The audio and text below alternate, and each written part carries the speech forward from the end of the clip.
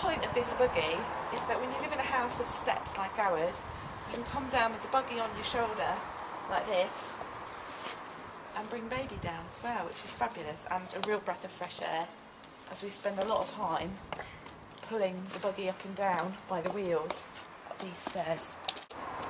Yep, this is my second attempt at um, opening it actually.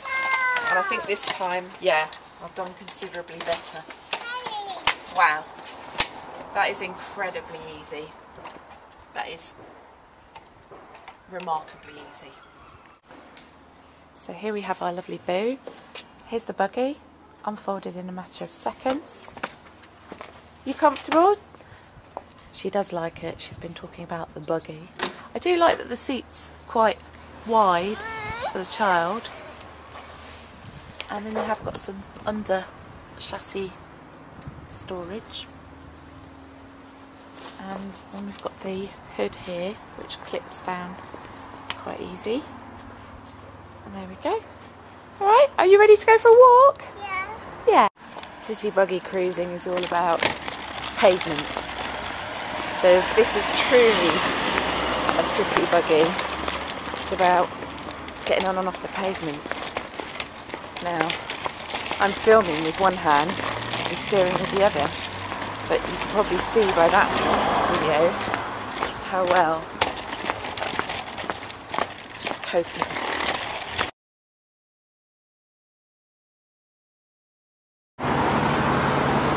These are the mean buggy streets of Brighton.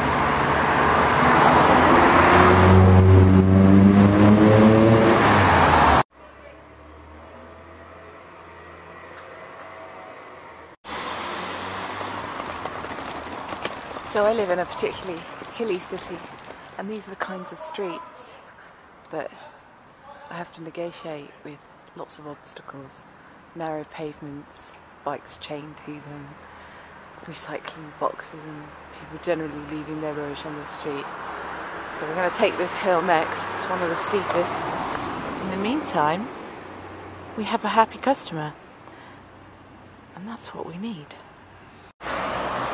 So it's really simple to take the back down. You just pull that there very softly and that gently reclines it.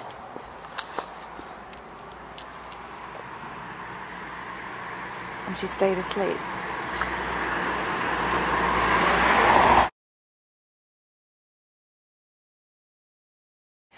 So we finished our test on the mean buggy streets of Brighton, the Baby Zen yo-yo. This is our first test and it's passed. To get down the steps of our Victorian terrace, put the buggy over my shoulders, all 5.8 kilograms of it, help the toddler come down the stairs and then unfold it in a matter of seconds, pop the baby in and be on our way and have her asleep within five minutes pretty much makes my day very easy. £309, it's a big ticket price, but depending on where you are with your buggy journey, it could be worth every penny, especially if you travel a lot, whether it's to family, friends, flying. We visit family in Northern Ireland a lot, so a buggy that we can easily take over uh, on the airline and easily use while we're out and about there is, is bonus. So it's worth considering. We're very happy. But the big test will be long haul flight to America and will it survive sightseeing and the French Quarter Music Festival in New Orleans? Watch this space.